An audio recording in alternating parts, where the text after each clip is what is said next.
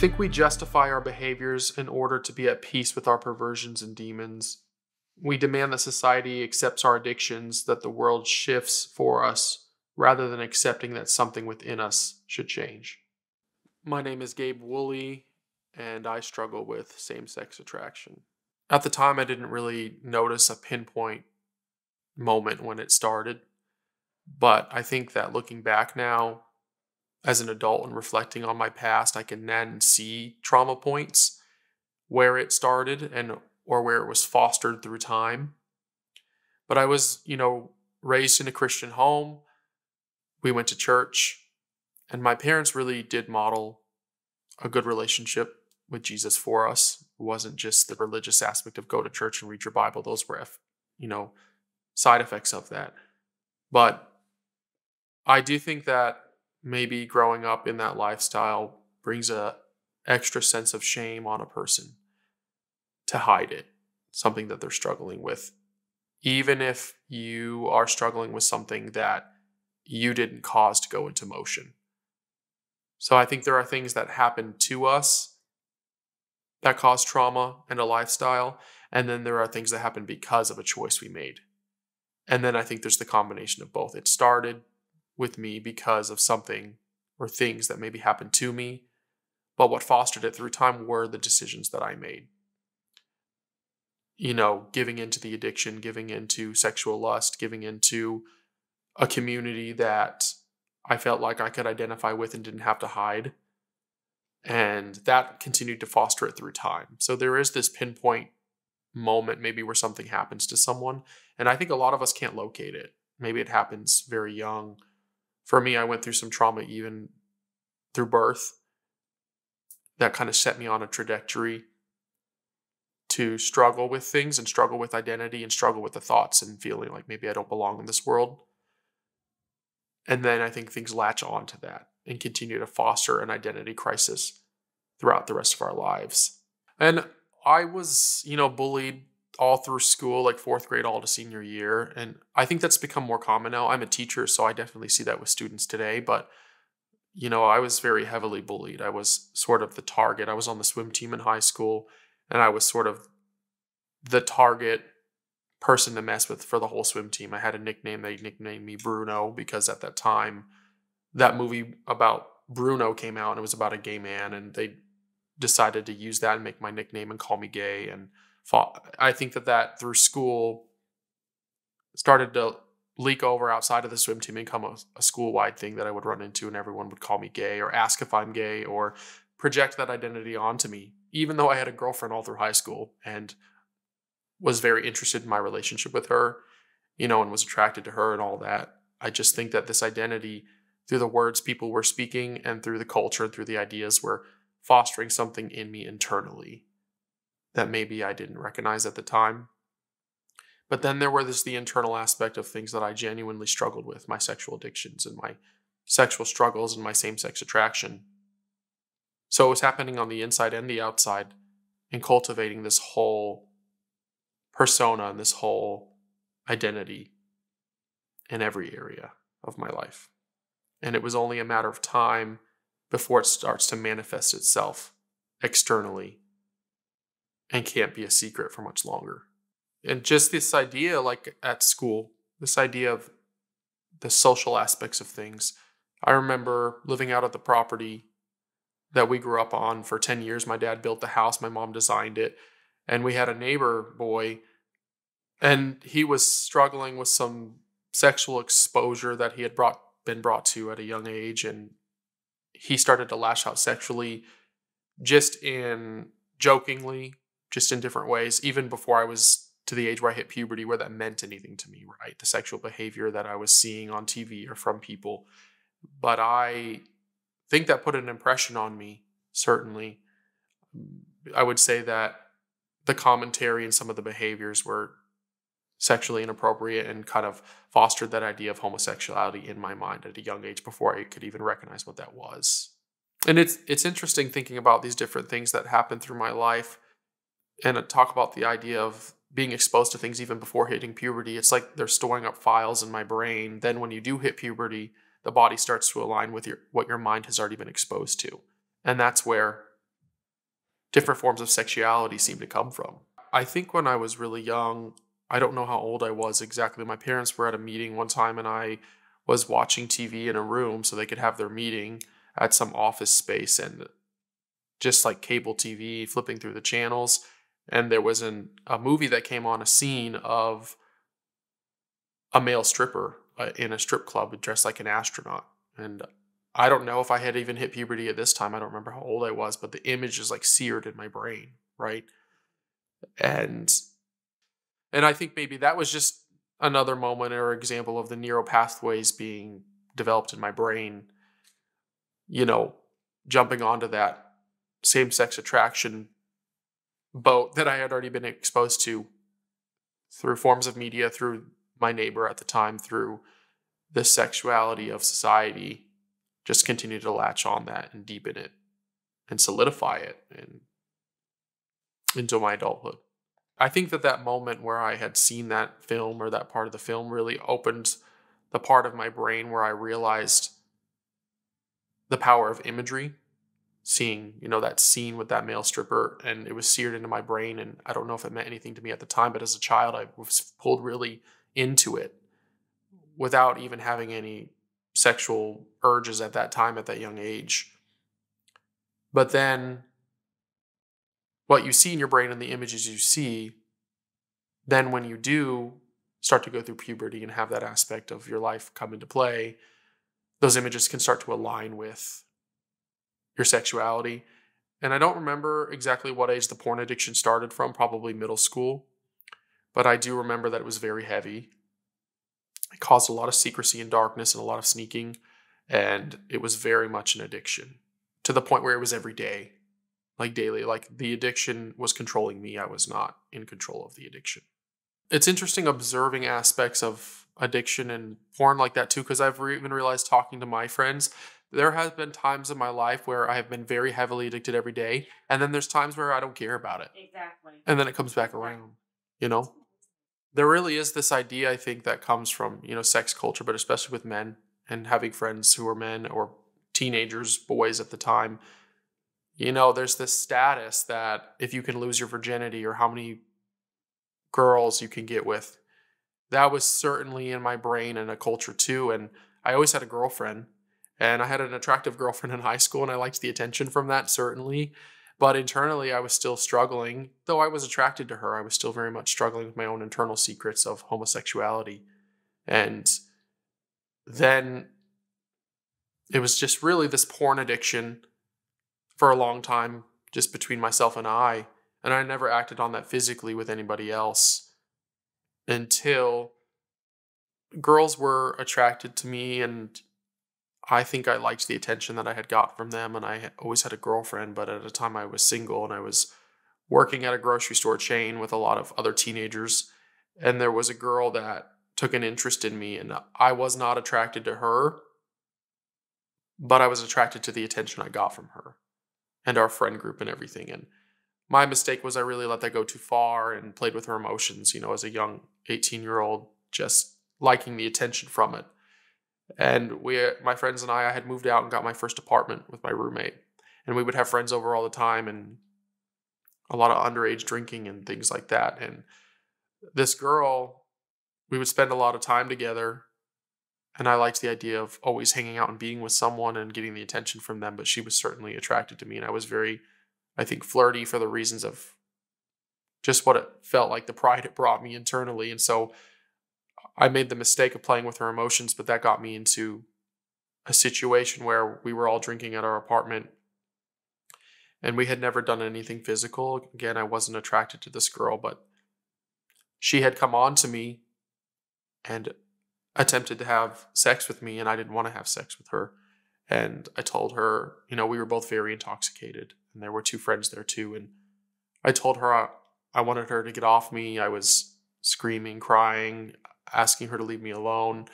And she started crying, talking about how I don't think she's attractive and kind of making me feel bad for, and, you know, not pursuing anything sexual with her because I was not sexually attracted to her. And I told her no. I told her I didn't want to do this A friend of mine had heard that and said that, reiterated that. He said, no, you know, leave him alone. But everyone so intoxicated at the time that it was really to the point you could barely control. Like I was laying on the floor pretty much in a state of paralysis almost from. And she was laying on top of me and she was bigger than me and I, I couldn't overpower it and my words weren't enough to stop her. And I eventually just decided to stop fighting it. And that's how I lost my virginity, even though I didn't want to. And so I think it's interesting talking about this idea when you talk about sexual abuse or pressuring someone. When you talk about the idea of a woman taking advantage of a man, like that's a controversial argument because how does that work? And, you know, I was just in this situation where I guess saying no, saying I didn't want to do this, I didn't want to have sex with this person wasn't good enough. And eventually I just gave into it and let it happen and that's how I lost my virginity. It wasn't who I wanted it to be with, it wasn't how I wanted it to be. But that I think was another moment that really solidified my sexual trauma. And at that point, I had realized that I had something that was mine, you know, my virginity that I could choose to give away or not was taken from me in a sense. So then I I stopped caring after that point. You know, I don't have it anymore. I can't control it anymore. So I think that opened up a door of hookup culture and even going deeper into the homosexual aspect and the aspect of addiction. Started working for an organization in Tulsa, and it was a nonprofit, more liberal organization, very much embraces the idea of diversity and equity and LGBTQ and Black Lives Matter and all those things. So I was really in the middle of that culture too, even though that didn't align with my personal convictions or my political beliefs. Um, and so that really started to foster this idea in me of embracing more of giving into whatever feeling I had, regardless of truth, giving into whatever I wanted at that time as my identity, and that it was acceptable and okay. And so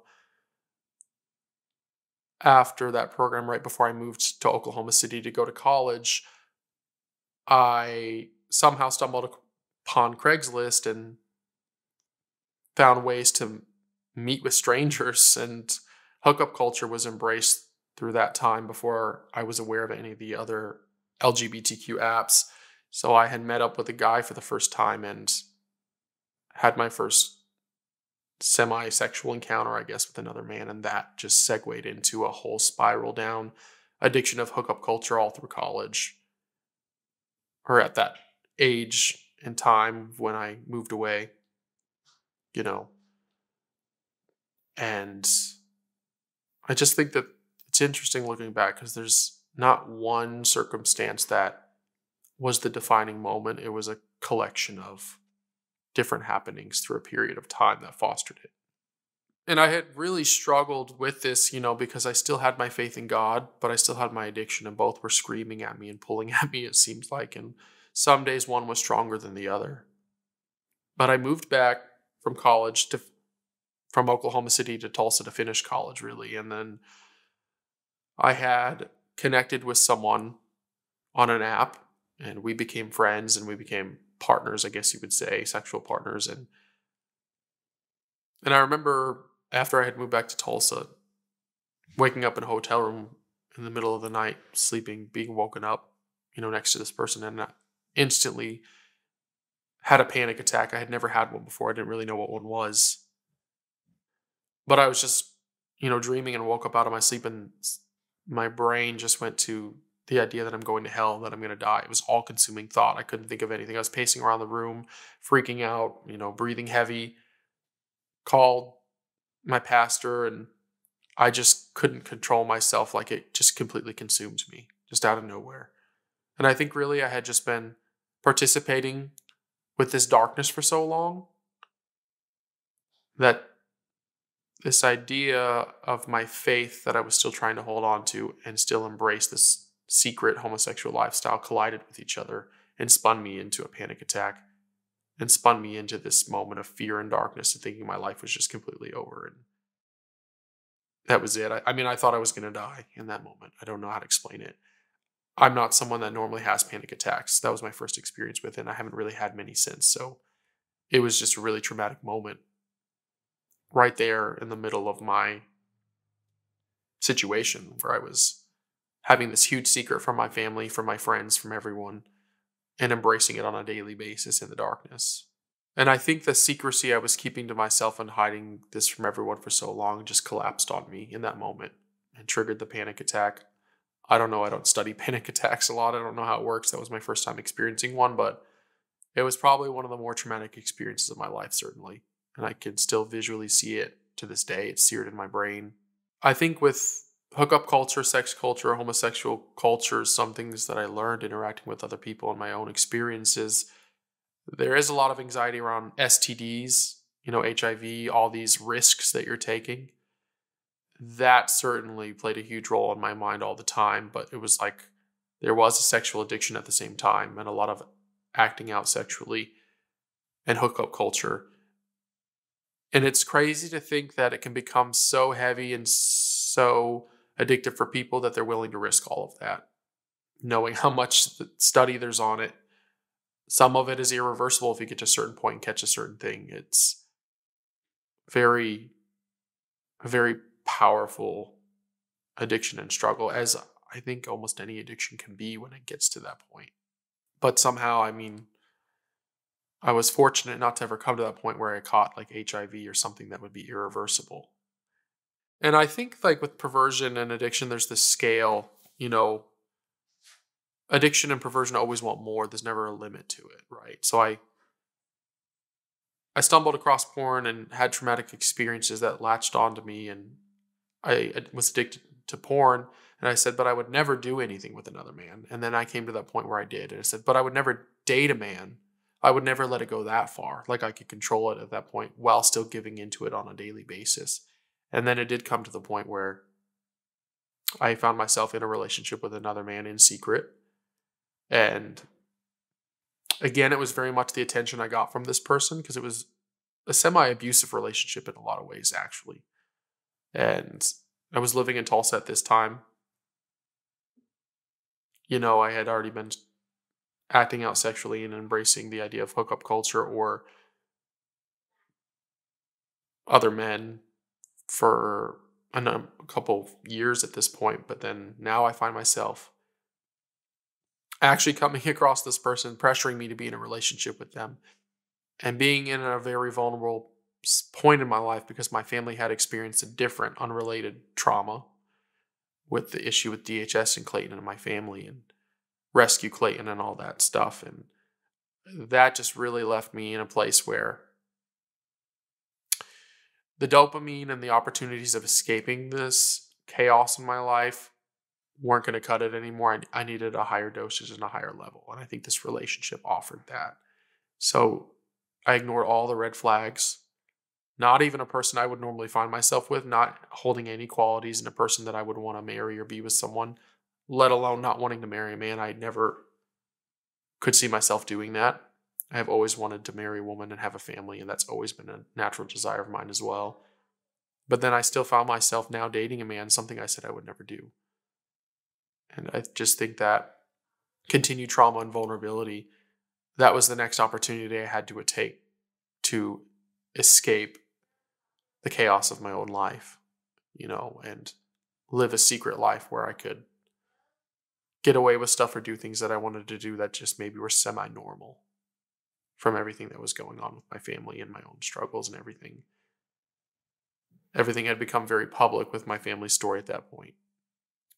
And this relationship was the first time I had sort of come out not to everybody, but come out and would go in public places, out to bars and gay bars and clubs and things like that. And within that community, the LGBTQ community, I would be more open and out in that sense.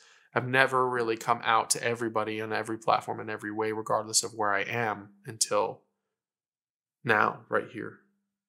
I really thought and struggled with I'll never be able to tell my family this. I'll never be in a marriage with a woman because I'll always struggle with this. I'll never have this life that I've always wanted because of the things that I'm struggling with. But I came to a point where I feel like God ended up exposing me because I wasn't willing to do it myself to my family.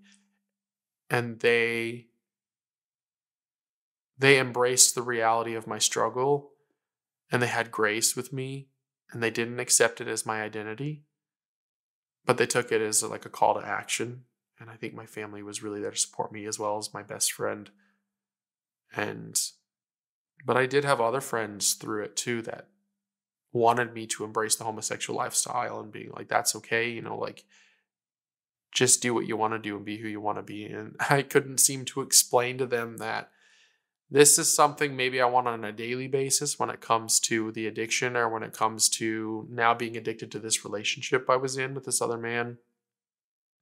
But it's not what I really want ultimately. It's not what drives me to keep going. What drives me to keep going is always having, since I was a young child, knowing I wanted to be a father and have a family and a wife and seeing that modeled by my parents. But I had some friends that couldn't understand that and I lost a lot of friends, I think, because of that and me going back to my more conservative roots and my faith. I never really accepted the homosexuality as my true identity. It was something I always struggled with, and I, I took it to certain levels and I temporarily accepted part of it, but I I think in the back of my mind and in my heart I always knew this was temporary. And I still struggle today with the thoughts, with the addictions, with stumbling and falling and giving in sometimes. But I know what I've wanted in my life, what I've asked God for, what I've held in my heart, and it's not this.